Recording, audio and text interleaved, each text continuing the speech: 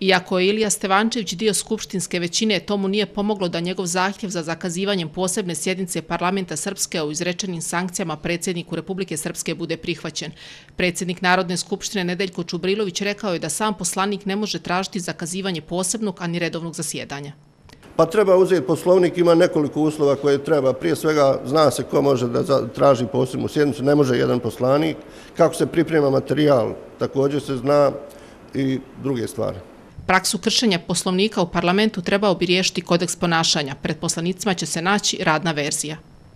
Dogovorili da klubovi poslanika i poslanici upute primjedbe zakonodavnom odboru preko sekretarijata Narodne skupštine na prijedlog ove radne verzije kodeksa ponašanja i nadamo se da će cijela priprema oko ovoga završiti prije pripreme za 17. sjednicu, za martovsku sjednicu, tako da ćemo nacrt toga kodeksa imati za martovsku sjednicu. S obzirom da se na dnevnom redu kolegijuma nisu našle izmjene zakona o oružju i municiji kojim bi se produžio rok za zamjenu oružanih listova do kraja godine, klub poslanika PDP-a odlučuje da zatraže da se taj prijedlog po hitnom postupu razmatra na redovnoj sjednici.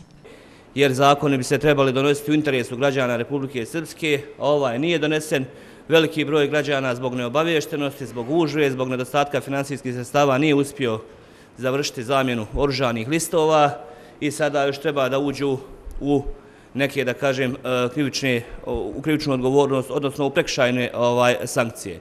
Da bi to ispravili, mi, smo, mi ćemo predložiti u tom zakonskom rješenju produženje tog roka Među tačkama predloženog dnevnog reda nalaze se i nacrt krivičnog zakonika Republike Srpske kao izvještaj Republičke komisije za sprovođenje referenduma o rezultatu republičkog referenduma.